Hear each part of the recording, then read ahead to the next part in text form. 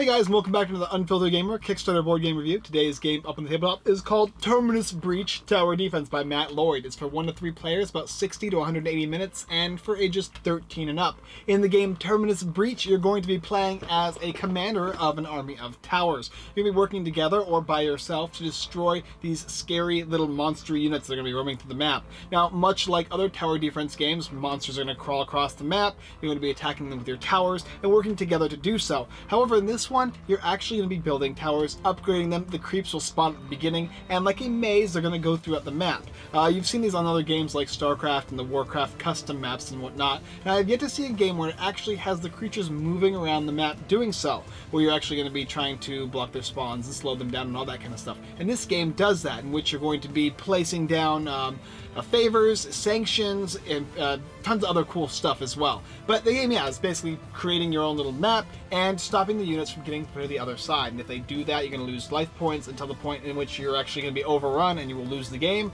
Or if you can destroy them all before all the waves have gone through, you're going to be the winner of the game. Let me show you what it looks like.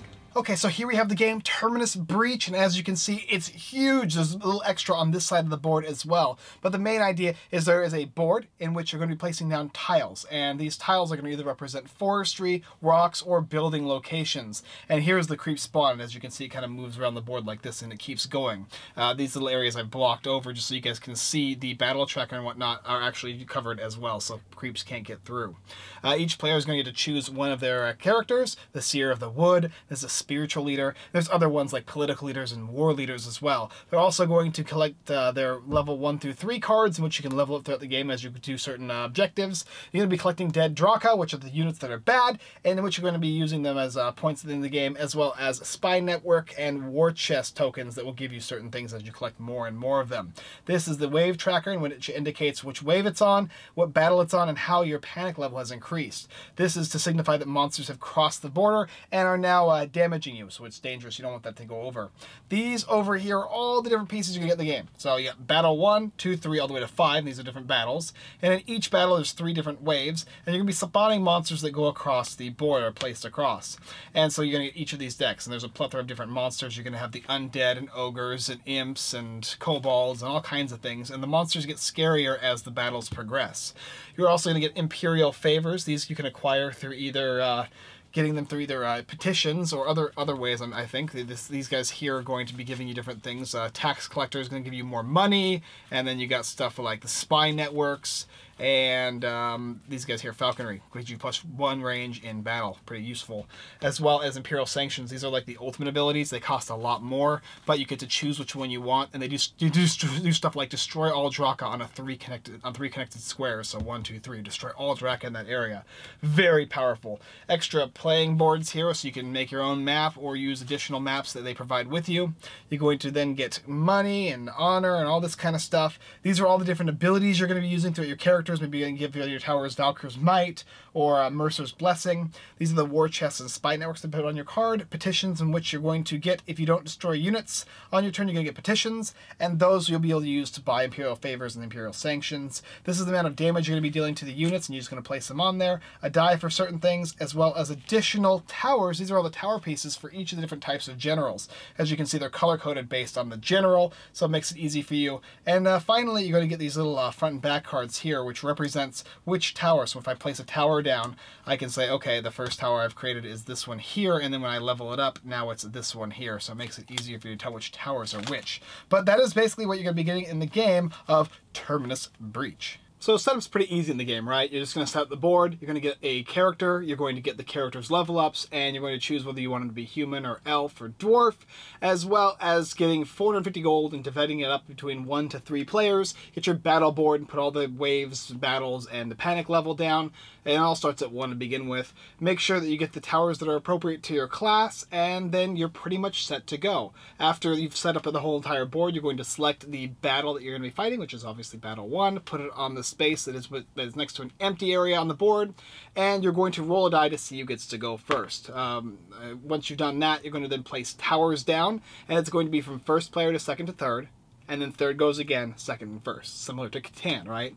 After you've placed all your towers down and you've spent all your money, then you're going to begin the round phase in which you're going to have the um, monster spawn based on the the battle phase. So like, for instance, I rolled a two, I would have two plus any modifiers that would be added to that round. In the first round, I think it's two, so it'd spawn four monsters. You'd put them down the board based on how far they're supposed to go, and uh, then you're going to go ahead and kill them. If there were any monsters on the board previously, you would have to move those first, and then spawn the new ones. If you can't place them down the board because the board is filled up, they're just going to be discarded. And after that, you're going to go into the phase in which you're going to be buying and selling stuff. You're going to upgrade your towers, you're going to buy favors, you're going to gain Imperial Seals if you haven't uh, done any, or sorry, petitions if you haven't done any damage or killed any monsters, uh, in which case you're going to be using those for cards, because certain classes are only going to be using, are going to be less attacking and more kind of diplomat kind of style, where others are way more damagey, like dwarves. After that, you're going to go on to the next wave. There's three waves, and then after you finish the three waves, you go on to the next battle, and at that point, you're going to be discarding all the monsters you've killed, gaining a bunch of victory points and whatnot, depending on the spy networks you have, as well as a couple other things, and going back to the next battle. After all five battles are done, if you haven't lost all of your panic level, then you're going to add up all your points to see who the winner is, or if you're playing cooperatively, it doesn't really matter. However, if at any point you're going to go up past your panic level, and all the monsters have gotten across, then you're going to lose the game. Let me show you a couple rounds of play and how it kind of works. Okay, so we're back, and as you can see, I went ahead and set the board already. We had uh, the human player, he went and placed, and then we had her, she placed, and then she placed again, and finally the human player again. Put these little Terminus Breach Tower Defense um, tokens here to represent which tower it is that we are currently using based on the amount of money. And I went ahead and distributed the gold evenly. So we started with 450, so they each got 225. After that, it tells you how much these guys are going to cost, and you went ahead and built those. You have the Battle 1 deck here ready to go. And as you can see on these towers, it's going to tell you the damage, and then the range, and then the amount of targets it's going to hit. After that is all done, you're going to then advance any of the Draka that are currently on the board. There's none here for the first round, but if there was, then you would advance them across based on their movement. After that is done, you're going to go ahead and draw uh, a roll a die, and add a modifier to that die. And for this round specifically, it's going to be two. So in this case, there's one Draka that's going to spawn with a bonus of two. You're going to then take these guys out and tells you how much they're going to move here. So it says two, right? One and then two. If it is flying, it go up, and if it is on the ground, it goes down. And now you take another one. Here's a flyer, and it goes up here, one and two. This space is now locked. Take another one here, and this says two, but because it can't go here, the space is locked, it's going to go back down. If both of these spaces were all locked, then this guy would be discarded. He wouldn't count because he can't be added, right? So now that you got all three of these guys here, they are done being put on. And if these guys were here previously, beforehand, then you would have had to advance them. All right, now we're going to go to the defend action, okay? So we're looking at the towers here. We choose one player to go first, and they're going to use all of the towers up that they have. This guy here said, okay, he's going to go ahead and target, um, let's say he targets this guy right here, right? And it's going to be for one damage, um, and uh, it can hit two targets. So maybe he'll get one damage for this guy, one damage for this guy, and we'll just we'll just hit him twice. Why not, right? So we'll look over here, and it tells you the damage tokens, and you're going to go ahead and put them on here. Just like that, nice and easy. Has a total of 12 health, as you can see, and threat is 1. So if he gets across the board here, he's going to put our threat meter up, and we don't want that to happen because we'll lose the game if we get uh, our panic level goes above or where it can go. Okay, so after he's on his tower, he can do this one over here. And this one is the basically the same tower here, so he can go ahead and hit this guy. He'll hit him for two. And then his towers have all been used up because this one, uh, uh, no, these towers have been used up, so now it's this guy, but this tower can't be used. It's too far away. However, this one can be. This has got a range of two and does two damage, but only hits one target. So he'll actually go ahead and hit this guy for two moving it to 3. Now this guy's health, it was 12, it's 11, 10, 9, now 8 health.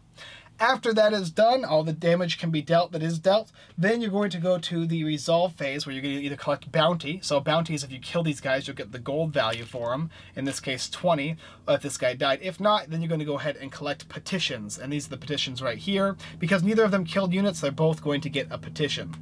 With petitions, you can go ahead and use these to buy Imperial favors or sanctions. I think sanctions is about five to use one, but you can choose the one you want. And then favors is two for one, three for three, five for five. And these cards do different things. You're going to be using them to gain war chests and spy networks. They're going to either give you gold or additional victory points uh, throughout the game. So they're very, very useful.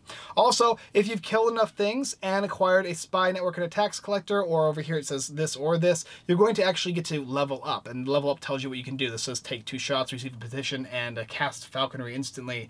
And then you go to the next one, and you're going to be trying to level up throughout the game because they're going to give you bonuses. And not only that, but after that's all done, there's a development phase in which you're going to be building your extra buildings if you want, as well as upgrading towers. So for instance, if I wanted to upgrade the spear tower and I was playing as a human, I would simply spend 50, and this would upgrade. And um, the next player, if he wanted to uh, upgrade maybe this tower here, he could spend 50 as well, and he would be able to upgrade this tower as well. So you're going to be able to upgrade your towers, which will do then more damage, have more range, and potentially even more targets. After that's done, you're going to go back to the beginning, in which you're going to go ahead and move the wave to the second wave, have all these guys move their movement, so in this case two, and then two, and um, one because he can't actually go any farther because this thing's this thing's blocked. So uh, actually no, sorry, he would go one more. That, that would be how it would work. After they have moved, then you're going to go to the battle phase again, in which you're going to be rolling the die, adding the modifier. So five plus two is seven. Here we go. Here's a big one here. One and two. This guy doesn't work. Three four, five, six. Hopefully, don't get a flyer. Seven. Okay. So now we've added all the extra guys we can. And then, once again, we would repeat itself. We would have each of the towers choosing the units to do damage to, collecting money as we killed them, and if we didn't kill things, collecting petitions, using those petitions to buy certain things, then moving forward to upgrading our towers, adding new towers to the board in locations like these, as well as adding some bonus towers that do other different things that are interesting, and additionally, using these specific abilities here, like Valkyr's Might, to give our towers a bonus of some sort. Putting more damage on these guys. You get the idea. Once all three waves have been completed, we go to the next battle phase in which we add the next battle cards over here, and we start flipping those guys as well. We leave all units on the board that are still alive for each battle, and after all five battles have been done, uh, we are going to then move on to uh, winning, hopefully. Now remember though, after each battle has concluded, we're going to be removing all the dead Drakas, because these are where our dead Drakas are going to go, removing those and adding points for them, and uh, acquiring different things as well. We'll go ahead and talk about that up above. So some caveats now. Before you go ahead and switch from the to the next battle after three waves, you're going to go ahead and look at this reference cheat sheet, which is going to tell you how it works. Spy networks and war chests. These are cards. These are things you're going to get, be getting from the Imperial favors. And as you get spy cards, if you get three of them before the next battle, you're going to gain 10 victory points before starting that. And then of course five will get you two spy networks, which is 15 points, and so on and so forth. War chests will get you gold. So if you have three uh, tax collectors uh, it gives you one war chest, and that'll give you 150 gold for the next battle. Every single battle that starts, this you're going to get these bonuses here. You're also going to get a single victory point for each level of tower you have. So if you have a level 4 tower and a level 1 tower, it's going to give you 5 victory points, and also one extra uh, victory point per dead Draka that you have uh, on your dead Draka area on the board. You return them to the box after that, though, before you begin the next battle. And it tells you some other interesting things here about shooting rules, how you have to shoot if you can, and uh, draw, mod draw modifiers, as well as some, some movement rules as to how ground units work. But that's the basic aspect of the game. You'll be trying to gain as many victory points as you can, which gives it that competitive nature, as well as working together to destroy the units that are going across the board. If they get to the end of the board and the threat panic level goes over 10, then you guys have all lost. Otherwise, at the end of the game, whoever has the most victory points is going to be the winner of the tower defense game, Terminus Breach. Okay, so going over a couple more things too, because I think it's interesting that we looked at some of these things. The human towers, right? You've got the chapel, which is actually going to give you blessings, right? So you got, uh, uh, this one's Mercer's blessing here. And you can put it on any tower within two spaces. So this tower alone doesn't do damage, but it will increase the damage of a tower that is near it. You've got spear towers that turn to ballista towers, that turn to gun towers, that turn into chain gun towers, boiling oil the Boulder Tower, Mortar Tower, and the Bombard Tower. These guys are all going to get improved as you upgrade them, and they do significantly more damage. And it's kind of going to be depending on you how you want to facilitate your towers. And do you want to just upgrade one more than all the rest of them, or do you want to have a plethora of towers going all the way across? And um, how are you going to upgrade your how are you going to power up your towers other than just the main uh, the chapel, right? And all, every single one of the different types of factions has their own unique blessings and invocations. For instance, this little card here, this is an invocation card, and it's going to give Invocation of Athena or something else along those lines. And it'll tell you when you put, it says, okay, put one of these guys on the tower, plus 5 damage and plus a range. It's really good. These Imperial Sanctions are amazing. You can get from petitions if you get 5 petitions. Then you're going to be getting these guys here. The Warlike factions are less likely to get it, and the Diplomatic uh, factions are way more likely to get it because they're the ones that won't be killing as much. They're kind of working together, acquiring spy networks and all that kind of stuff. You've got the Imperial Favors too. As I said before, you can get to uh, one for two of the petitions, three for three and five for five, or the big five for one on this one here. And these guys will give you stuff like the tax collectors, which it says you can collect immediately. Um, collect according to the current battle. So if it's battle one, you get 50 gold points for this card. If it's battle two, you get 100, so on and so forth. And so you're going to get more of these. And as you collect enough tax collectors, you're then going to get one of the tokens for the uh, spy network, right? Um, as oh sorry yeah the, sorry, with a war chest. And the other one is the spy and that's the spy network. And this one will actually say that you kill any Draka within one square of your tower or prevent one tower from shooting this turn which was also not going to give you any bonuses as far as gold. But as you build more spy networks you're going to get more victory points at the end of the game which is useful. There's other cards too in here as well I believe like falconry which is going to give you a range and a battle. Combustion which is plus two damage in battle for elves and dwarves while humans get plus one damage and a couple other things too, like apathy, plus one to slow. So that's pretty useful as well. Um, but there is a plethora of different things in the game, right? So this kind of goes into the portion of where I'm telling you what I think about it. All that's kind of included, right, is the fact that you can upgrade your towers. There is a plethora of different things you can do. However, there are mainly for each faction these three different types, but there's three factions, so that's kind of unique as well. And it is a cooperative slash competitive game which is kind of weird to me as I sat there. It was like, I want to work together with him, but at the same time, I want to kill things more than him so I can get the victory points. And if I don't work with him, we're going to lose. But if I do work with him, I have to be careful not to let him get the, the benefits of, you know, taking over my units and killing that kind of stuff. Uh, you want to get your own spy networks and war chests because they're going to give you benefits like additional gold as well as additional um, of the victory points in the game because it's very important. Realistically, though, I'd probably like it a little more if it was all it was, it was all um, cooperative and not competitive. If the game was more like two different teams and then you had units going across the board, like like something like the World of Warcraft, or, or it's not World of Warcraft, Warcraft 3, how you had that happening, I'd be more okay with the competitive nature. But because I feel like I want to be cooperative in this game, but I can't, it does kind of hinder it a little bit. The other negative I will say is as you're damaging the Draka, you're going to be upgrading your towers and they're going to get sufficiently stronger.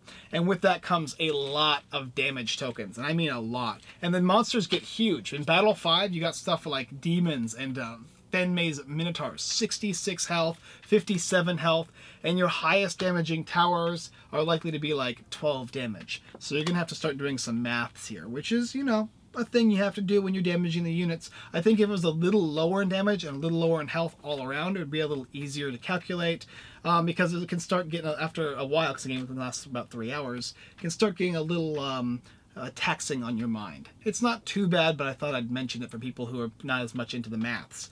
Overall, though, this game is cool because I've always wanted to play a game that was a tower defense game where you actually used towers and actually had the minions moving around the board and you had to actually build up your towers and it feels like those games I used to play on StarCraft and Warcraft and that is what I wanted to see in a board game. It has a, a couple clunky features in it but I think as the game is going to be manufactured like getting getting out there like um developed and whatnot. I think those things will be fixed.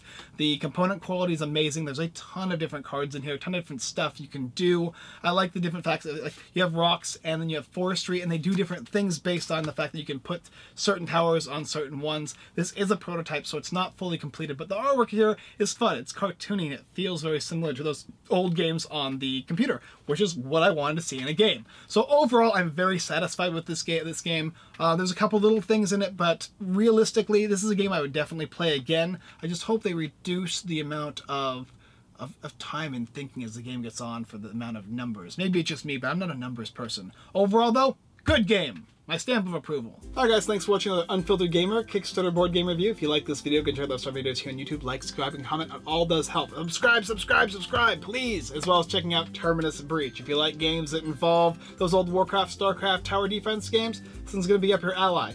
Ally, Ali. And also, if you don't want to play cooperatively and you want to play really competitively, this will work well. Also, you can take out the whole um, competitive rules and just play cooperatively, and it still works as a fun game. Either way is going to be fun. Also, check our website, unfilteredgamer.com, got tons of blog posts, giveaways, Kickstarter lists, and more. And our friends, everythingboardgames.com, the giveaway geek, and my personal friend, Ferdinand, the cardboard stacker great uh, sites and a great guy as far as tutorials goes. Alright guys, thanks for watching, and as always, I look forward to seeing you next time.